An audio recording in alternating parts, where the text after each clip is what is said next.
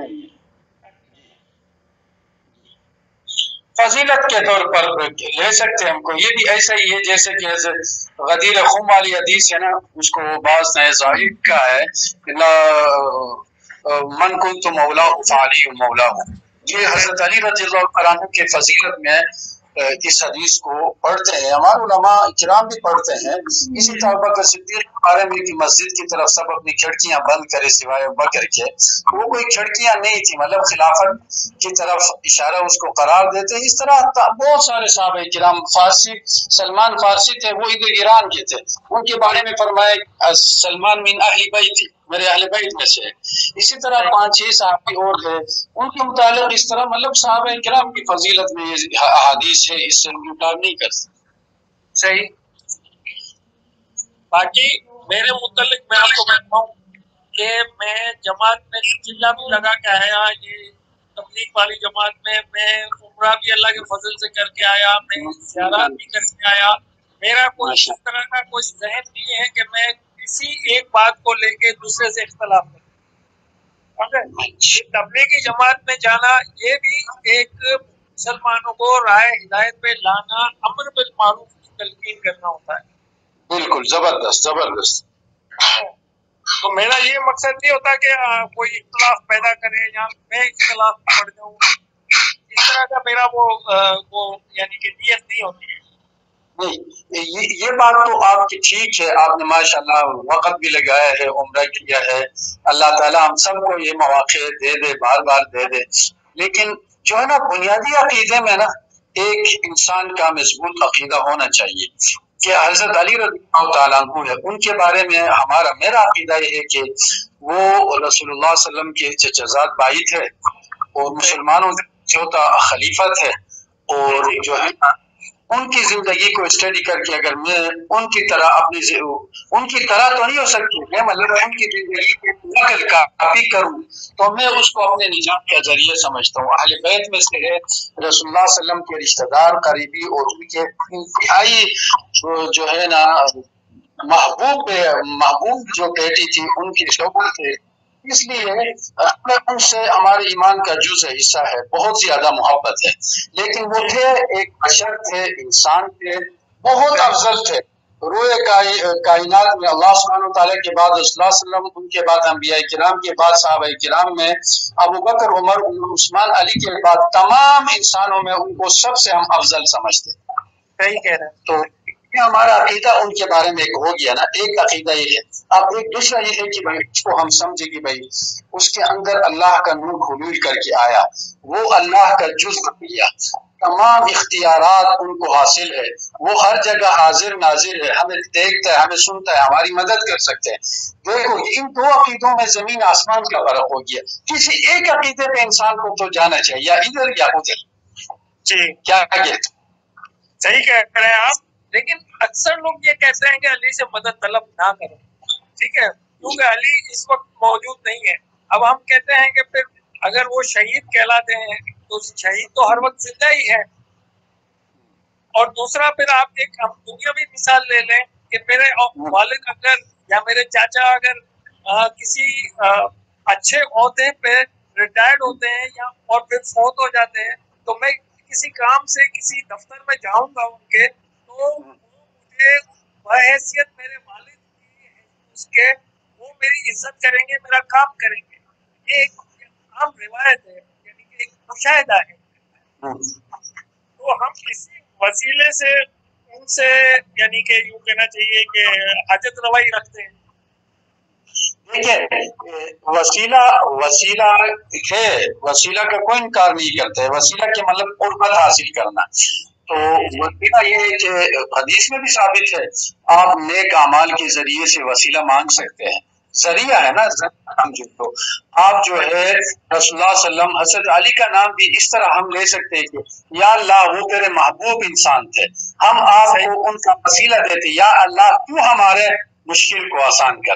देखिए, एक हज़रत अली से मांगना है ना, एक उसको ज़रिया बना के अल्लाह से। ये अलग अलग चीज़ें हुई ना तो। बरह रास्त हम बरह रास्त तो हम नहीं मांग सकते उनसे। या अली मदद या अली मुश्किल कुशा हुआ तो डायरेक्ट भी हो गया ना। जी जी जी जी ये आप सही कह रहे हैं। दूसरी बात यह है कि देखिए हम दुनिया के दफ्तरात दुनिया के मामला को रब कायनात के साथ मामला के साथ जोड़ना थोड़ा सा उसमें है। वसीले का मैं इनकार नहीं करता हूँ। कुरान में भी है मैंने आपको बता दिया। अल्लाह सुबहान तआला फरमा रहे हैं कुरानी मजीद में कि इन्नी मिन हबलिल वरीद का लफ्ज है वरीद रगे जान को कहते हैं सिर्फ़ व भी है कि खफी वो दिल में जरा ख्याल लाओ तस्वुर करो उसको भी मैं सुनता हूँ समझता हूँ तो जब अल्लाह करीब है क्लोज है सजीब लगो मुझे पुकारो जवाब दूँगा कह रहे तो बरह रास्त अच्छा हम कुरान की दुआओं को देखते हैं ना हज़रत आदम से रब्बना ज़लमना अनफुसना फिरली रसूलुल्लाह फरमा रहे रब्बना आतिना इन्नना समिअना मुनादिया ये ये सारे बगैर वसीले के कुरान की जितनी पैगंबरों की दुआएँ। लेकिन वसीले का इनकार फिर भी नहीं है वसीले का इनकार नहीं है। वसीला का हम लेकिन वो एक ज़रिया है। ज़रिया के तौर पर हम किसी नेक अमल किसी अच्छे अमल और किसी नेक इंसान से जाके दुआ कराए, वो भी तो एक वसीला है ना, एक बुज़ुर्ग के पास मेरे लिए अल्लाह से दुआ करे। ये भी एक वसीला है। अब जो शहीदों का आपने कहा ना कि ज़िंदा है, देखिए, शहीद ज़िंदा दुनियावी नहीं है। दुनियावी होता, अगर वो ज़िंदा हो तो हम कमर पे क्यों दफनाते वो बरजखी ज़िंदगी में हयात है। उनको अल्लाह ने कहा कि उनको एक बरजखी हयात है, जो अम्बिया कुछ ज़्यादा है। कुछ ज़्यादा है तो उससे कम अदा की है न वो खाते हैं न वो पीते हैं। अगर है भी रूहानी तौर पर उनको कुछ खिलाया पिलाया जाए लेकिन उनके विरासत तकसीम होती है उनके बेगमात किसी से शादी कर सकते हैं। अम्बिया के अलावा की बात हो रही है। आम इंसानों की किराम की अहल बैत में से कोई वफात पा जाए कबर में उनको दफनाते ये सब कुछ होता है। दुनियावी लिहाज से वो अम्बात है उखरवी हयात बरजखी उनको हासिल है, उसका इनकार कोई नहीं करता है। तो वो एक गुना जो है ना, दुनिया की ज़िंदगी की तरह नहीं है। उसकी हकीकत को हम पहचान नहीं सकते हैं। बस अल्लाह ने कहा कि उनको मुर्दा मत करो तो हम कहते अच्छा है हयात के साथ वो अपने कबूर में जैसे कैसे वो है, हमारे इलम में नहीं है, वो ज़िंदा है। लेकिन वो अल्लाह की सिफात हाजिर नाजिर हर जगह आना, पहुँचना, सुनना, कहा कि ये इख्तियार तो अल्लाह सुबहान ने अपने पास रखे है। जी आप फरमाएँ। हाँ आपने बिल्कुल सही कहा, मैं आपसे बिल्कुल मुतफिक हूँ। लेकिन ये देखिए, हमारे पास भी डॉक्टर इसरार अहमद की अच्छी तबलीग हुई है और काफ़ी इसमें पेशरफ की हुई और काफ़ी लोग जो है ना नए रास्ते आए हैं। लेकिन ये इस ग्रुप में लोग जो पता नहीं किस तरह की लैंग्वेज यूज़ करते हैं, कि क्या इसको मैं करूँ? बहरहाल ये थोड़ा सा मुझे सूट नहीं कर रहा है कि थोड़ी सी एक शाइस्ता लैंग्वेज यूज़ की जाए या कोई हवाले दिए जाए हमें सिखाया भी यही यही बताया भी यही है कि किससे बात करे तो तमीज के वजूद में दायरे में रहते हुए और जो है ना आगे आगे वाले की हैसियत अवकात हदीस में आता है अनजिलन्ना समना जिलाओ लोगों को उनके मरतबे पे उतारो।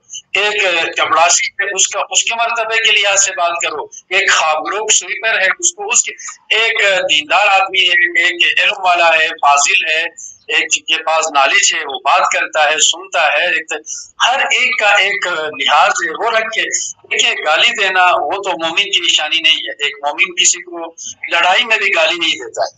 सही कह रहे हो। तो वो हक बात हर तरीके से कही जाए वो असर करता है। हर बात को ना हर तरीके से बोले वो असर नहीं करता।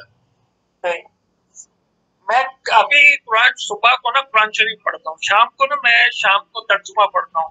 तो ये मैं आयत पहुँचा था अपनी ये सूरह अनफाल वाली तो मैंने एक फ़ोटो खींच के और इसमें ग्रुप में रखी कि तुम जिन लोगों को पुकारते हो वो बंदे ही हैं।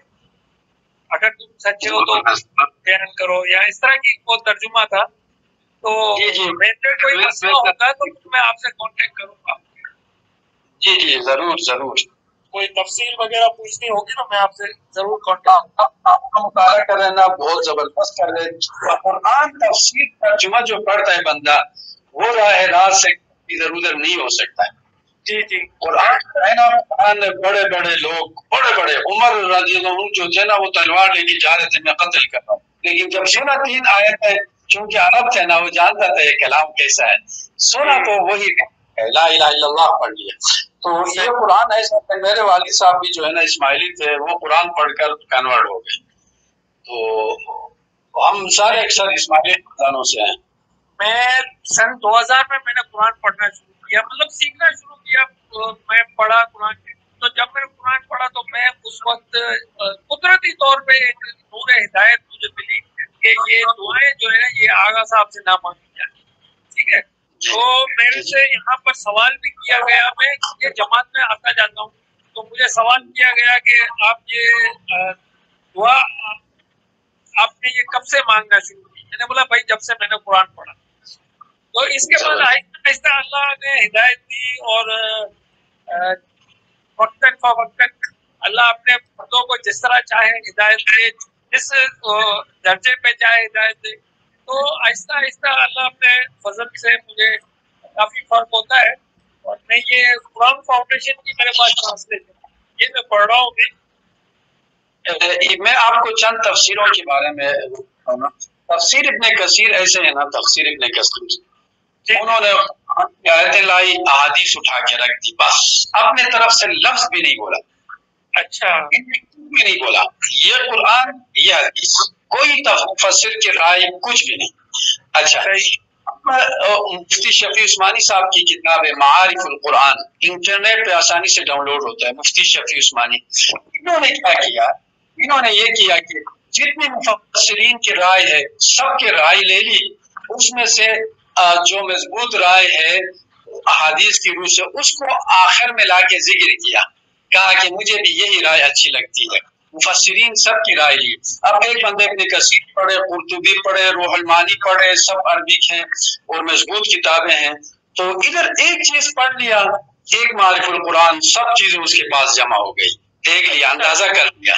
तो मारिफुल कुरान से बहुत ज़बरदस्त है। उर्दू जरा पुरानी है सिर्फ़ तर्जुमा अगर आप देखना चाहते हैं सिर्फ़ तर तराजिम आसान अंदाज में वो मुफ्ती तक साहब का है आसान तर्जुमा कुरान। अच्छा। वो बहुत मुख्तसर है लेकिन ये जो मारिफुल कुरान है ना ये आपको उलझने नहीं देगा हल करेगा मसाइल आपको हल करके जाए इसके वो कौन है ऑथर कौन है? मुफ्ती शफी उस्मानी मुफ्ती शफी उस्मानी। अच्छा। मैंने लिख लिया है। हाँ हर कोई अपनी तरफ़ से ना तर्जुमा कर नहीं सकता है। ना मैं ना आप ना वो। क्योंकि वो तो जो जो चीज़ें रसोल्ला ने बताई है इब्न अब्बास रज़ी उनके भाई थे उनके लिए दुआ की थी ज्ञान कुरान का फहम दे। अली रज़ी के अखवाल है उसमें अहले बैत के है साहब किराम के सब के लिखे हुए तो ज़ाहिर बात है कि जो भी तर्जुमा करने बैठे आप भी अगर कुरान का तर्जुमा करना चाहे मैं भी उनसे हम इधर उधर नहीं निकल सकते क्योंकि वो तो ऊपर से आया हुआ है, तर्जुमा तशरी बाकी जो है ना, जहाँ पर एक गुंजाइश कदीर लिखा है, उसको अरबी जानने वाला, आप भी पढ़ सकते हैं, मैं भी पढ़ सकता हूँ। वो तो मसला अच्छा यहाँ पे थोड़ा सा मैं आपसे माजरत चाहती हूँ, बीच में इंटरप्शन कर रही हूँ। तो मोहतरम मौलाना साहब, अगर कोई इंसान मतलब मुसलमान है, लेकिन मजालिस में जाता है तो हम क्या उनको गुनेगार कहेंगे जो ये शियों की मजालसें होती हैं जिसमें करबला के वाकयात को याद करके गम गम मनाया जाता है? तो इसके बारे में थोड़ा सा बयान कर दीजिए। जो मुसलमान जाता है मजालिस में जाता है। जी जैसे हमारी आफ्ताब भाई है माशाल्लाह। ये पहले इस्माइली थे।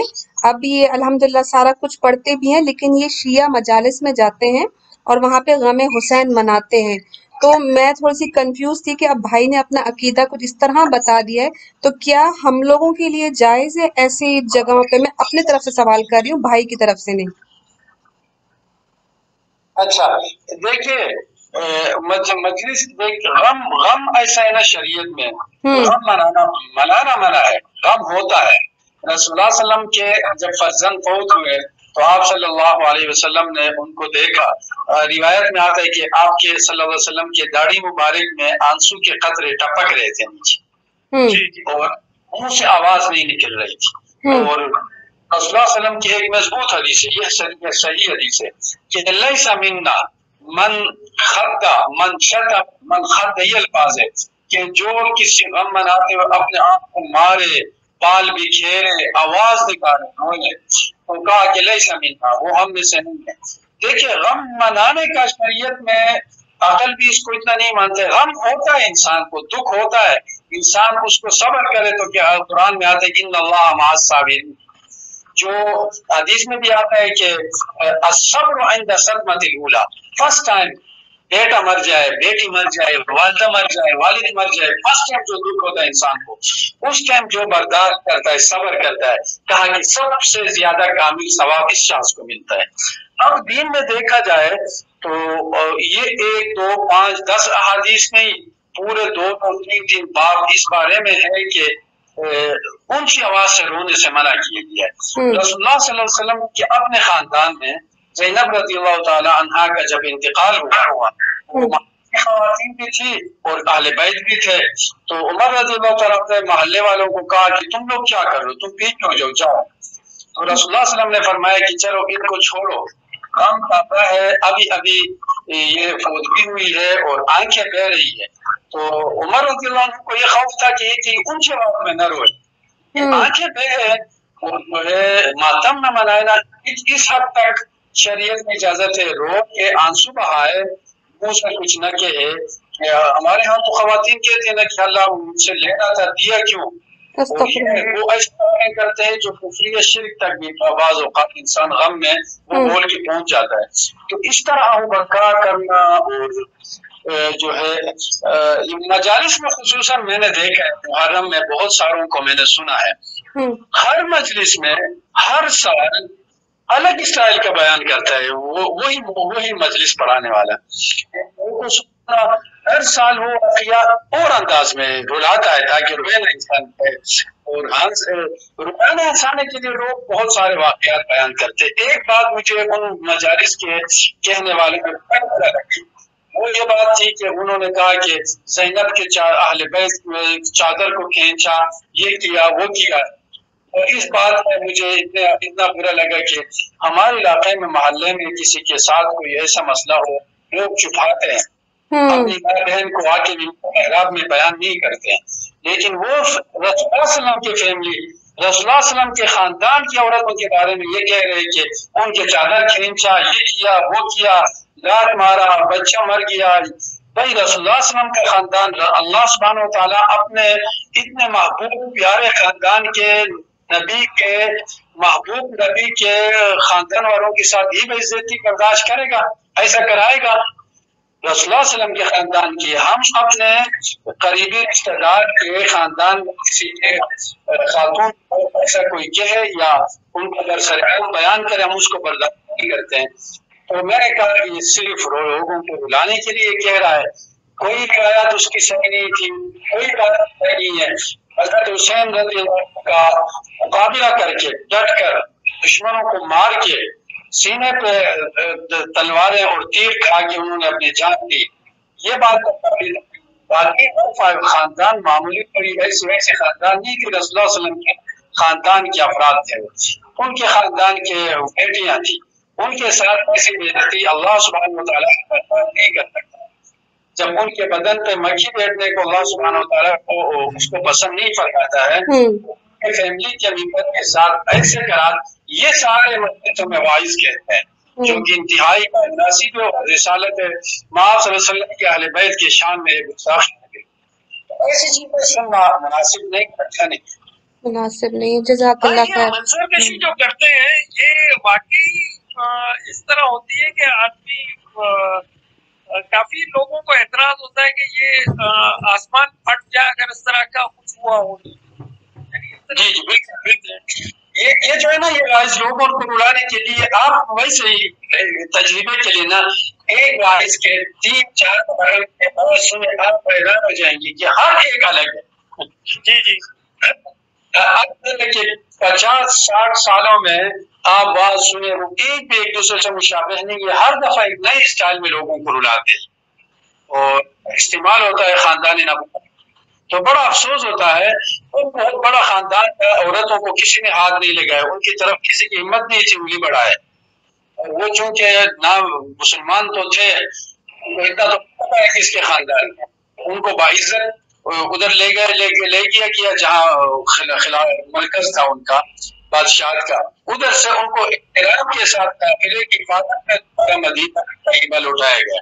उनके साथ कोई गुस्ताखी करने की ज़रूरत भी नहीं कर सकता और इस खानदान के शहजादियाँ थी। तो हज़रत हुसैन बहुत जुल्म हुआ, इस्लाम की तारीख में, मुसलमानों की तारीख में बहुत बड़ा दबा है इस्लाम के, इस्लामी तारीख के चेहरे पर। अपने नबी के नवा खानदान के नवासे को मुसलमानों ने उम्मत, उसी की उम्मत के लोगों ने शहीद किया। ये मुसलमान की तारीख में बहुत बड़ा दबा है। ये तो है इस पर हर कोई इकरार करता है। और हुसैन रज़ी भी ये नहीं कि बुजदली दिखाकर वहाँ शहीद हो गया आखिरी हद तक, आखिरी सांस तक वो लड़ते रहे। जुड़त बहादुरी के मिसाल लोगों को सामने रखा कि मेरे नाना ने जो शुरू किया था सल्लल्लाहु अलैहि वसल्लम। उसकी हिफाजत करते हुए मैंने अपनी गर्दन कटाई है। मुसलमानों को दावत दी कि क्यामत तक जहाँ भी कुफर इस्लाम बातिल और इस्लाम का मुकाबला होगा वहाँ मेरी तरह डर जाओ। एक सबक सिखाया। सही कहा आपने बिल्कुल सही कहा।